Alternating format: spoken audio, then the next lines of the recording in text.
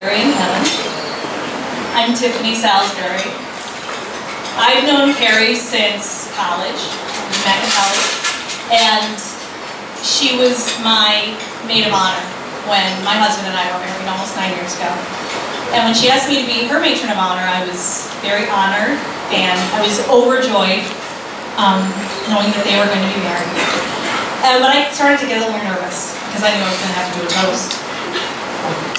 And I started to think, what I'm going to say. Her toast was fantastic. It was wonderful. It was memorable and poignant and everything a toast should be. And I just, I didn't know what to do. So I was driving to work one day and a song came on the radio. And it dawned on me what I wanted to do. So without further introduction, here's my tribute and toast to Kerri and Kevin, inspired by Steve Perry. Oh, yeah!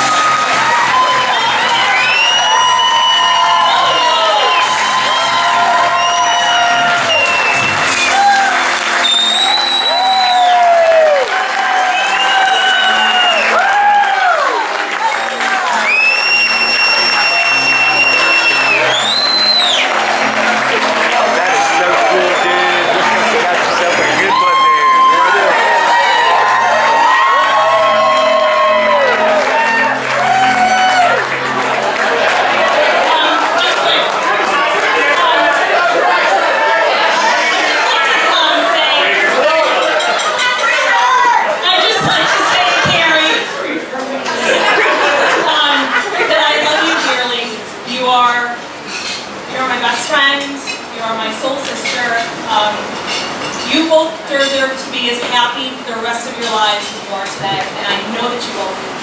Um, It's a blessing when two people come together um, and find each other that are perfect for each other, and you two are blessed. So, um, I love you both, congratulations, and here's to Kerri and Kevin.